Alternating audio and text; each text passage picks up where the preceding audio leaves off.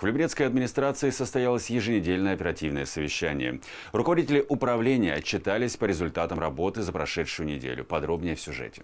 12 по 18 июля возбудили 19 уголовных дел. 16 из них раскрыты по горячим следам. За неделю на территории округа произошло 7 природных пожаров. Мы впереди планируем в Московской области по площадям количеству природных пожаров на населенных пунктах.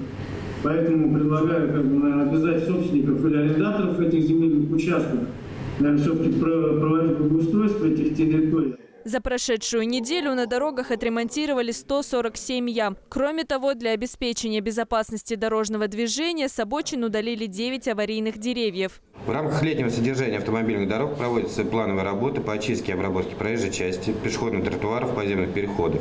Завершены работы по разметке пешеходных переходов на дорожном полотно, нанесено 361 пешеходный переход.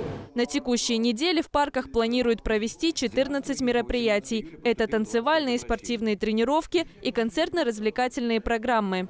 Айтат Щерагова, Денис Заугольников, Петр Пономаренко, телеканал ЛРТ.